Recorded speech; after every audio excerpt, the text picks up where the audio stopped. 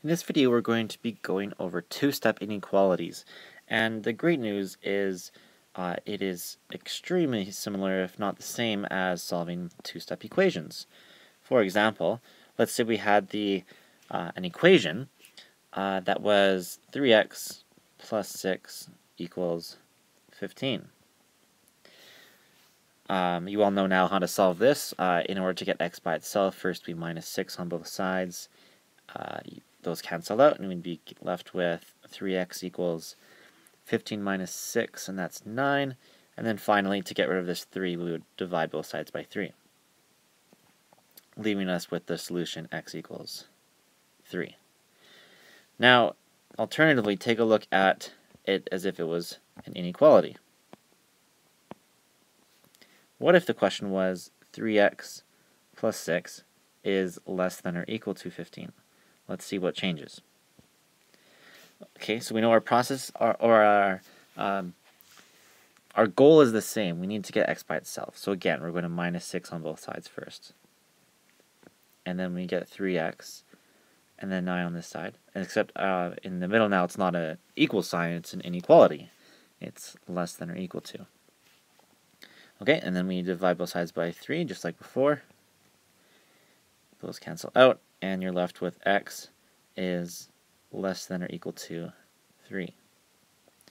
Notice what's the difference between these two? The only difference is that it's an inequality symbol instead of an equals symbol. Pretty basic, right? The only the only other important thing to remember is from the last level where we learned how um, what what happens to an inequality if you multiply or divide with a negative number if you remember what happens is uh, the symbol switches direction.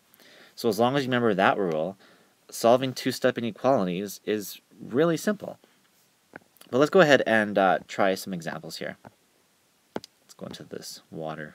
All right, let's say we're solving uh, negative 9 is greater than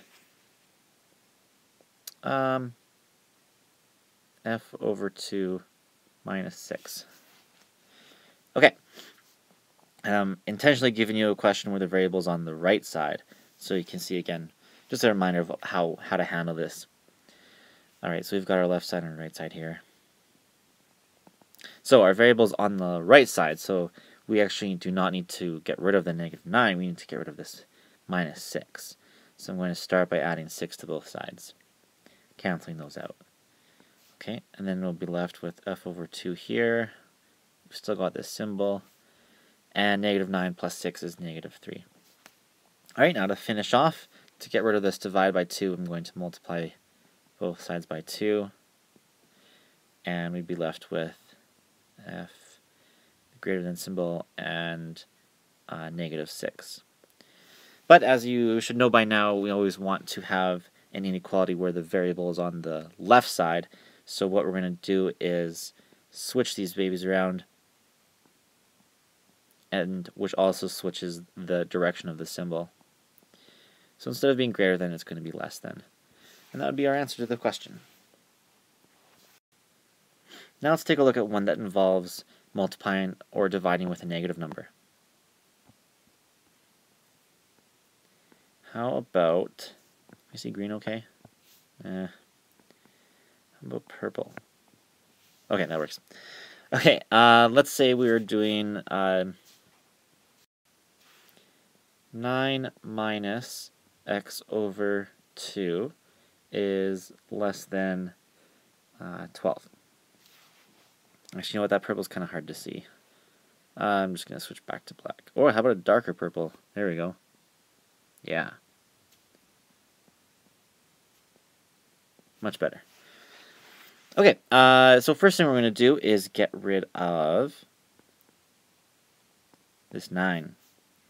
So I'm going to subtract 9 on both sides of the inequality here. Again, this is our left side and right side.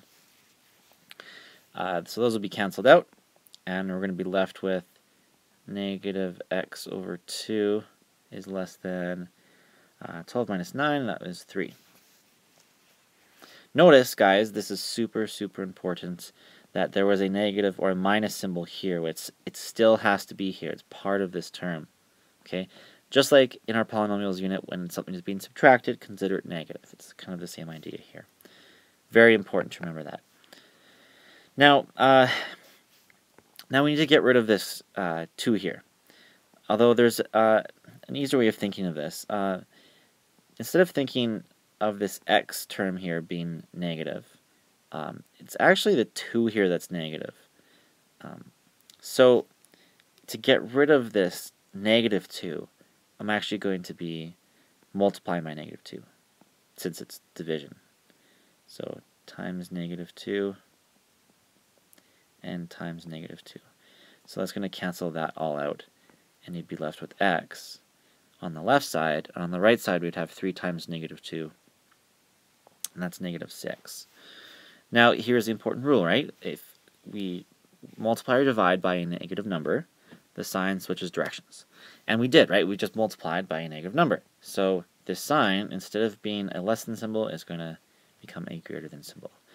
So that would be our answer. x is greater than negative 6. Okay, let's go ahead and try one more problem.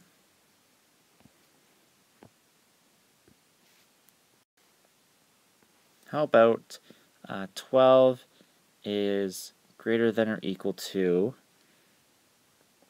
6 minus 3x.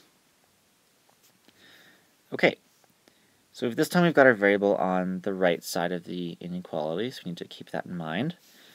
Uh, so if we're wanting to get x by itself, uh, first we need to get rid of the 6. So I'm going to minus 6 on both sides.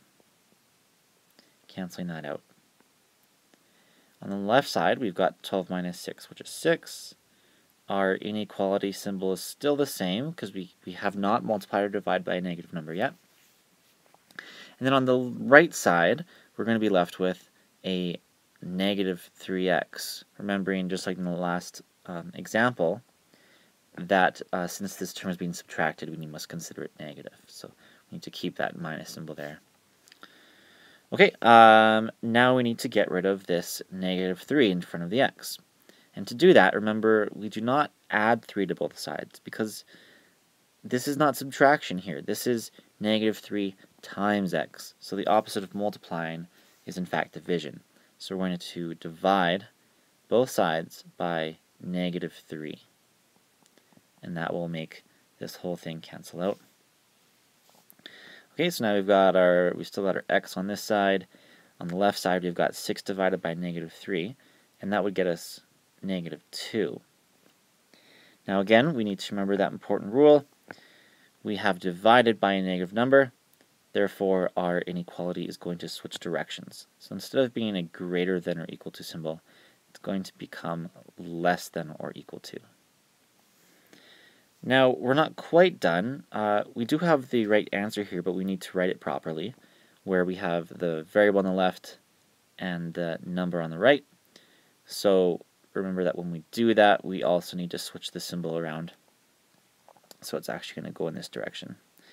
And that would be our answer. Hopefully that's not too confusing because I know we just actually switched the direction of the inequality twice. But sometimes that you have to do that, right? Like first we had to switch it because we multiplied by a negative number, and then we had to switch it again because the variable is on the wrong side. So keep in mind that sometimes you might have to do that. Alright, I hope that's enough for this video. Good luck.